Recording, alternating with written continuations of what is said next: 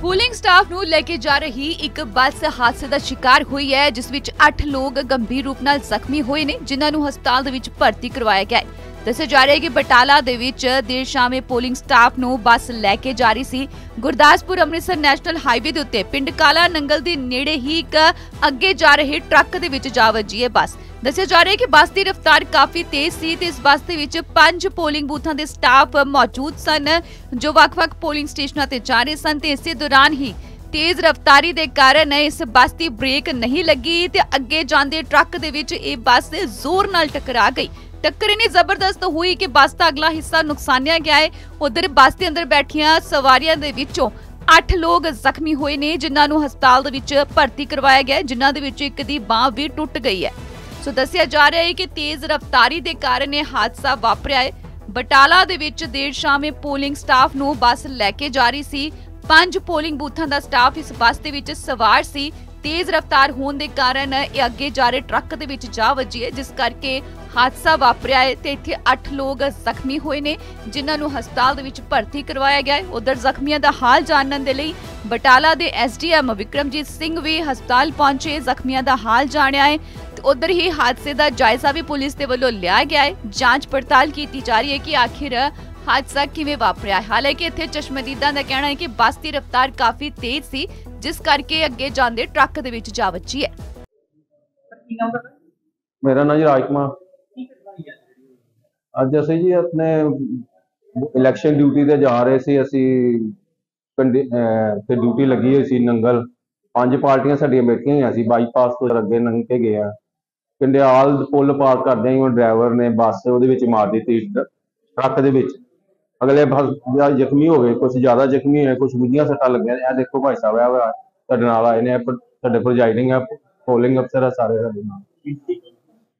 ਮੈਂ ਜੀ Deepak Suri government senior secondary school boys Batala ਤੋਂ ਇੰਗਲਿਸ਼ ਮਾਸਟਰ ਦੀ post ਤੇ ਆ ਕਿੱਥੋਂ ਕਿੱਥੇ ਜਾ ਰਹੇ ਸੀ ਤੇ ਹੋਇਆ ਕਿੱਥੇ? ਅਸੀਂ ਇਲੈਕਸ਼ਨ ਡਿਊਟੀ ਤੇ ਜਾ ਰਹੇ ਸੀ।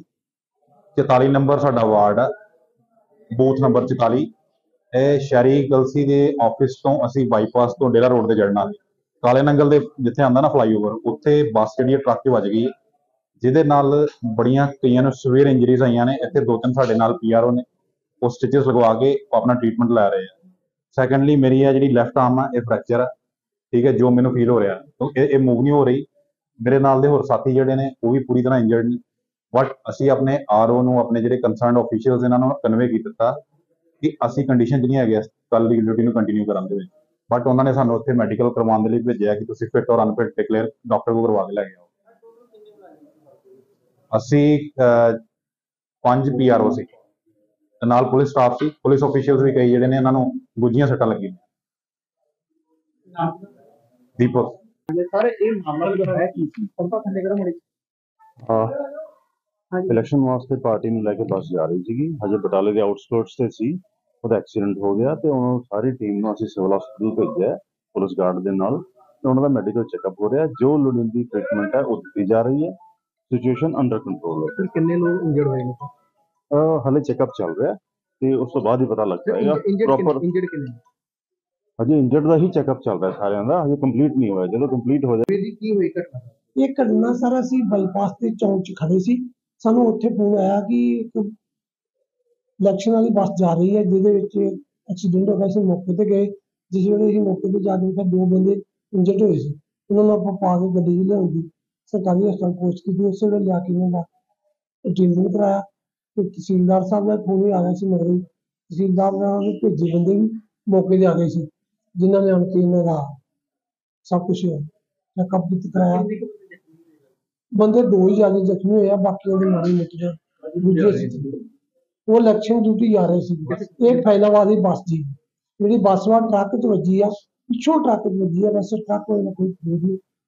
ਵੀ ਟਰੱਕ ਸਪੀਡ ਬੱਸ ਸਪੀਡ 'ਚ ਹੋਣੇ ਕਰਕੇ ਤੇ ਮੁਲਾਜ਼ਮਾਂ ਨੇ ਦਵਾਈ ਦਿੱਤੀ ਕਿ ਅੱਗੇ ਟਰੱਕ ਟਰੱਕ ਤੇ ਉਹਨੇ ਬ੍ਰੇਕ ਮਾਰੀ ਤੇ ਫਿਰ ਵੀ ਬ੍ਰੇਕ ਮਾਰਦਿਆਂ ਮਾਰਦਿਆਂ ਵੀ ਬੱਸ ਤੇ ਟਰੱਕ ਦੇ ਵਿੱਚ ਕਿੱਥੇ ਜਾ ਰਹੀ ਸੀ ਬੱਸ? ਕਿੱਥੋਂ ਕਿੱਥੇ ਜਾ ਰਹੀ ਸੀ? ਇਹ ਬੱਸ ਬੇਰਨ ਕਾਲਜ ਤੋਂ ਕਿਲਾ ਲਾਲ ਸਿੰਘ ਦੇ ਇਲਾਕੇ 'ਚ ਪਿੰਡ ਆ ਫੈਲਾਵਾਦ ਉੱਥੇ 70 ਨੰਬਰ ਬੂਥ ਸੀ ਕਰੇ 40 ਨੰਬਰ ਬੂਥ ਜਿੱਥੇ ਇਹ ਜਾ ਰਹੀ ਤੇ ਕੀ ਕਿੱਥੇ ਜਾ ਰਹੀ ਸੀ ਇਹ ਫੈਲਾਵਾਦ ਦੀ। ਅਜਨਾਬਾਦ ਜਾ ਰਹੀ ਸਰ ਕਿੰਨੀਆਂ ਟੀਮਾਂ ਜਾ ਪੰਜ ਪਾਰਟੀਆਂ ਸੀ ਜਿਹੜੇ ਇਲੈਕਸ਼ਨ ਹਾਂਜੀ ਇਹ ਚ- ਤਿੰਨ ਤਿੰਨ ਚਾਰ ਚਾਰ ਮੁਲਾਜ਼ਮ ਲਾ ਲਓ।